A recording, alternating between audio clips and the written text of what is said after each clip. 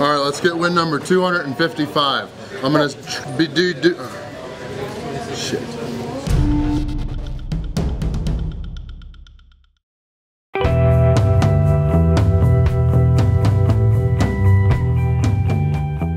We are at JJ's Pizza Shack in their shit.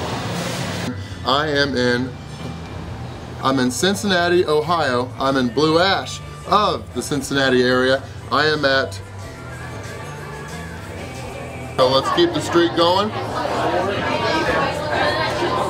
Randy Santel, Atlas with Atlas and Zeus Promotions and proud owner of foodchallenges.com.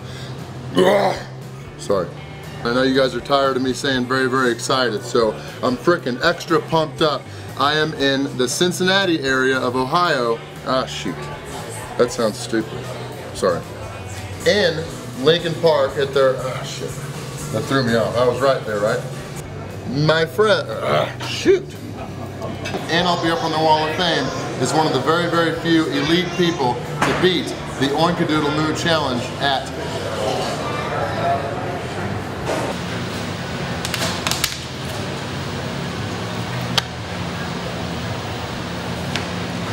Why is the required? Just feeling mean? Oh, that was gross. That bottom bun was full of just juices and stuff. There's a lot of chicken and steak and stuff in the burritos, but this one's got some smoked brisket and a couple other things along with some bacon on it. So this is definitely gonna be awesome. Definitely looking forward to chewing into it. Oh, that up too. What is chewing into it? Does anybody else get into conversation with you guys during these things? See, that's disappointing. Not too much. That's too bad.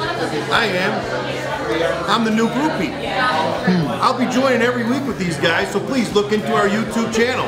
We're going to be fantastic. We're touring the country soon overseas. Look for us over in Italy.